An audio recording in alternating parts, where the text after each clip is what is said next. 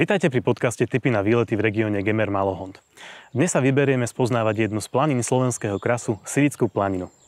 Sprevádzať nás slovom bude pracovník, lektor Vanického múzea v Rožňave, Norbert Modoroši. Vítaj Norbert. Ahoj. My sa práve nachádzame na úpetí Silickej planiny na začiatku jedného z turistických chodníčkov. Kam vedie tento turistický chodník?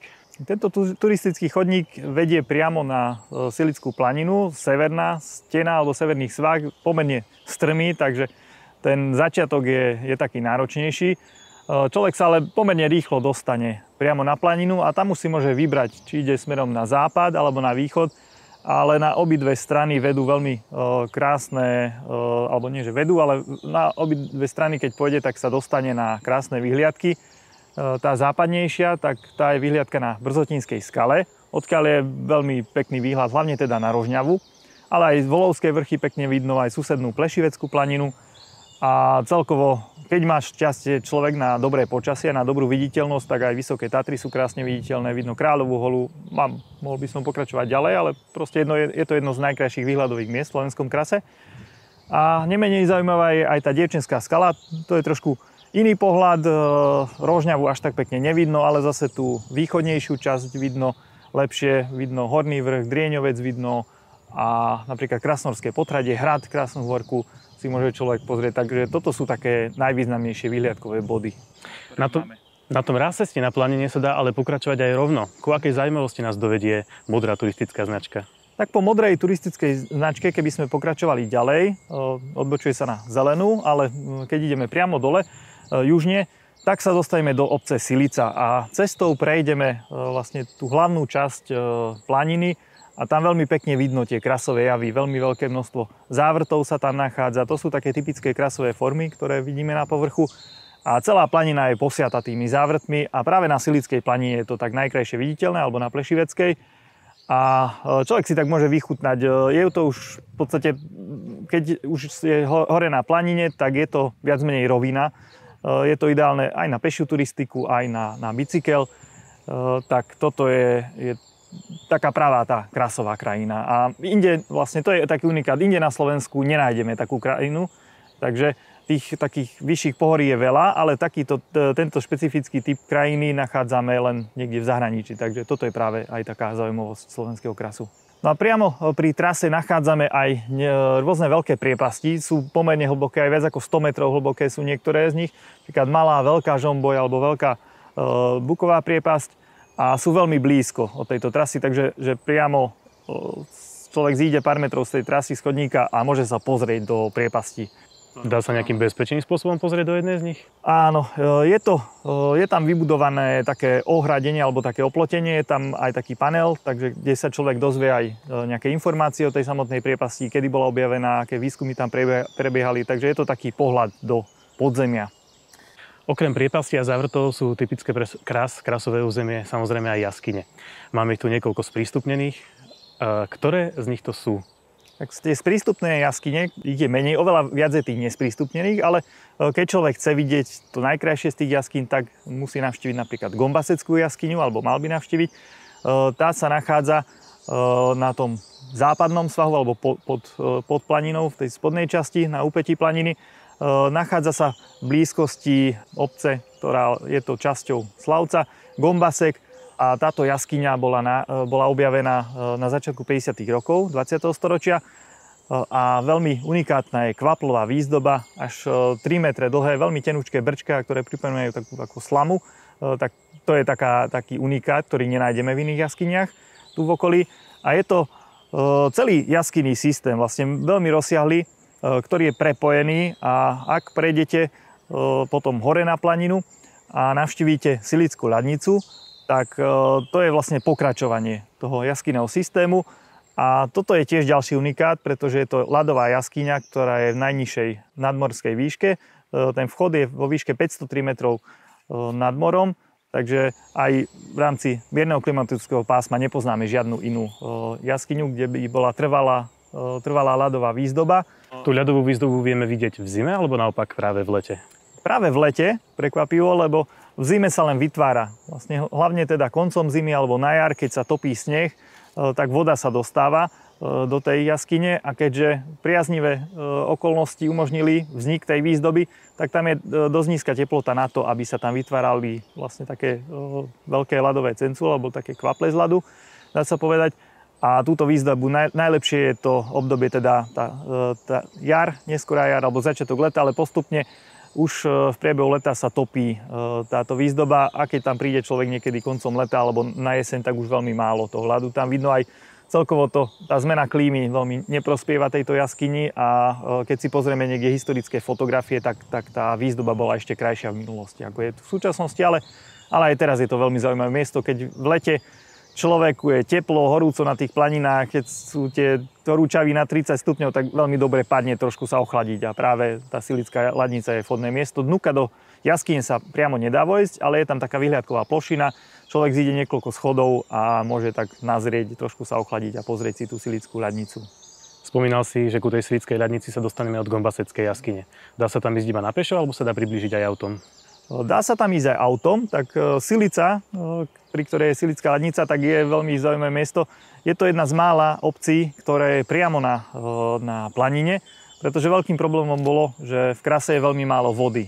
Bez vody sa nedá žiť, takže so do okolností Silica je na takom mieste, kde je voda vďaka, vďaka špecifickej geológii toho miesta. Takže tam priamo žijú ľudia už niekoľko storočí. A Silica je takým vhodným bodom. Keď človek nechce ísť napríklad hore tým strmým svahom, aby sa dostal na planinu, tak môže výjsť autom priamo do Silice a odtiaľ už potom vyrážať. Už, už je to v podstate len taká prechádzka po okolí, ale veľmi zaujímavé miesta sú aj tam. A to je taký najideálnejší východiskový bod. Aké zaujímavé miesta v tej okolí obce Silice môžeme vidieť? Tak nachádzajú sa tam, napríklad e, je tam e, Farárová jama, je to jedno z mála jazier alebo e, nejakých miest, kde nájdeme vodu a toto miesto vzniklo upchatím závrtu, takže vďaka tomu sa tam mohla koncentrovať voda a potom bolo Jaštericie jazero, severne od Silice, ale, ale to už postupne zaniká, takže už, už tam by sme veľa vody už nenašli. Spomínali sme, že tých sprístupnených jaskyň je viacero. Ktoré sú to ďalšie? Ďalšia veľmi významná sprístupnená jaskyňa je jaskyňa Domica. Tá bola objavená v roku 1926 Jánom Majkom a bol to taký prvý významný objav e, jaskyne v slovenskom krase. E, okrem tých jaskyň, ktoré už boli aj v minulosti známe. No a táto jaskyňa bola sprístupnená už, v medzivojnovom období a bola veľmi obľúbená a dodnes je. E, patrí medzi najnavštevovanejšie jaskyne slovenského krasu. A zaujímavosťou tejto jaskyne je to, že je to medzinárodná jaskyňa. Vlastne pokračuje, má vyše 25 km ten celý jaskyný systém Domica Baradla. A v Domici sa dá, dalo aj plaviť v minulosti. A to bola taká jedna atrakcia, ale teraz žiaľ stav vody je dosť nízky, takže zatiaľ momentálne nie je možné tú plavbu, ale aj tak tá výzdoba je veľmi unikátna, veľmi rozsiahla jaskyňa, našli sa tu aj rôzne predmety, ktoré, ktoré používal alebo ktoré tam ostali, pretože bola obývaná pračlovekom v praveku, takže toto je tiež tak, taký jeden unikát Domice. Spomínal si, že ten jaskyný systém Domice pokračuje aj do Maďarska. Nachádzajú sa na, Maďarsku, na maďarskej strane podobné jaskyne? Áno, tak pokračovanie je, je pomerne rozsiahle, tak tam je viacero východov tej, toho jaskyného systému a tieto jaskyne sú tiež sprístupnené aj celkovo. My tu vlastne spomíname slovenský kras, ale to krasové územie pokračuje aj za hranicou. V Maďarsku tam je Aktelský národný park. Spolu bolo toto územie, alebo Turnian, Gemersko-Turnianský kras sa to nazýva spoločne, vlastne slovenský kras a, a Aktelský kras. Tak tieto jaskyne, ktoré sú tu veľmi unikátne a na malom priestore je veľmi veľké množstvo, s, veľmi, s jaskyňami s veľmi rozmanitou výzdobou, tak tieto jaskyne boli zapísané na zoznam Svetového prírodného dedictva UNESCO. A je to teda jedna z takých veľmi zaujímavých lokalít aj týmto. Mhm. Keby mal na návštevník chuť zažiť niečo dobrodružnejšie, vydať sa do nejakej jaskyne, tak ako jaskyniar nie tak bežne po betonových chodničkoch, ponúka slovenský kras aj túto možnosť? Áno, je tu aj takáto možnosť. E, priamo na tomto mieste, kde stojíme, tak v susednej obci, tak tam sa dá navštíviť Krasnohorská jaskyňa. Tak táto jaskyňa bola objavená v roku 1964, ale veľmi dlho nebola sprístupnená pre návštevníkov. Je to tiež pomerne rozsiahla jaskyňa, ale e, tu mm, je taká iná možnosť, teda práve nie sú tam vybudované tieto bežné chodníky a schody.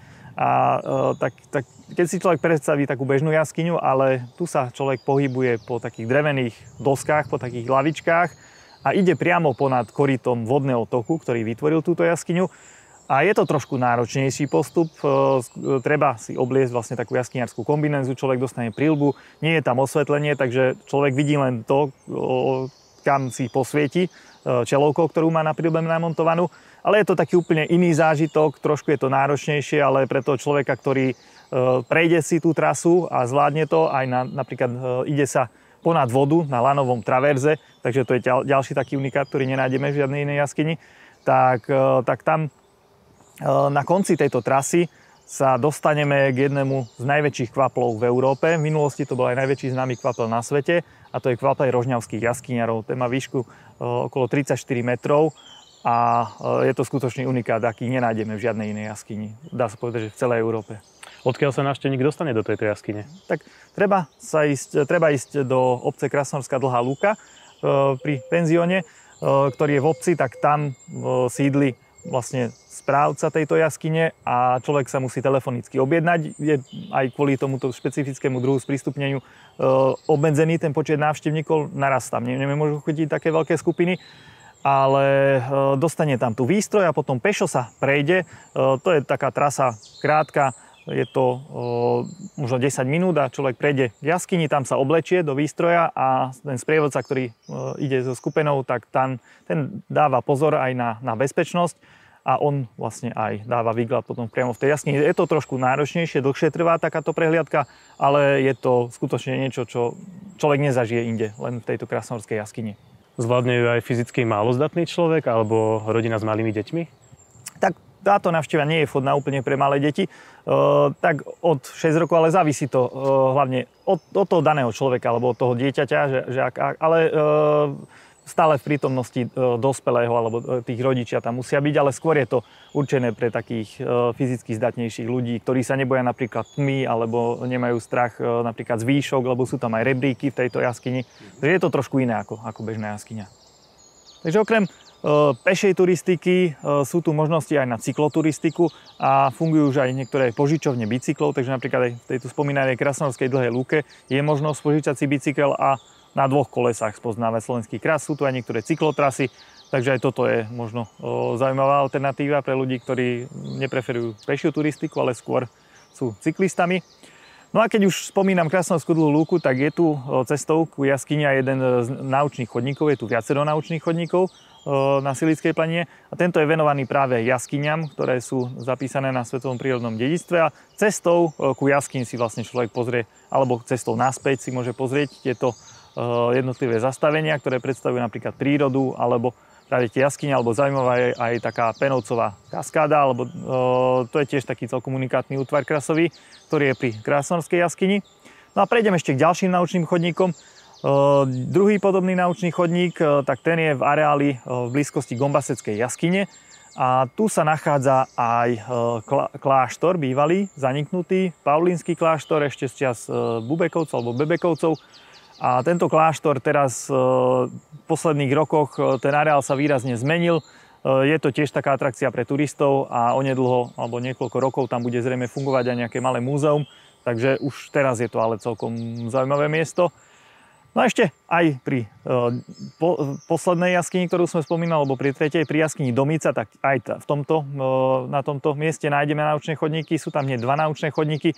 Jeden vedie uh, priamo v blízkosti. Je tam napríklad Národná prírodná rezervácia Domické škrapy, ktoré si, ktorú si môžeme pozrieť práve pomocou tohto naučného chodníka Domica. No a ďalší vedie trošku južnejšie smerom ku hraniciam a ten sa volá Zelená hranica. A to je taký trošku dlhší okruh potom. V dnešnej časti podcastu sme si podrobnejšie predstavili jednu z planín slovenského krasu, Silickú planinu. Veríme, že sme vás inšpirovali pre jej návštevu. Pre návštevu celého regiónu Gemer Malohond sa nechajte inšpirovať aj na našom webe regiongemer.sk. Sledujte aj náš Instagram a Facebook Region Gemer. Ďakujeme za pozornosť. Dovidenia. Tento podcast bol realizovaný s finančnou podporou Ministerstva dopravy a výstavby Slovenskej republiky.